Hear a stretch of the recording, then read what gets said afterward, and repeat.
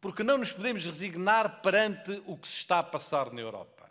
É inaceitável que, a pretexto de dificuldades financeiras de um dos Estados-membros, se pretenda interferir nas decisões soberanas de um povo ou humilhar as instituições que democraticamente o representam. Okay.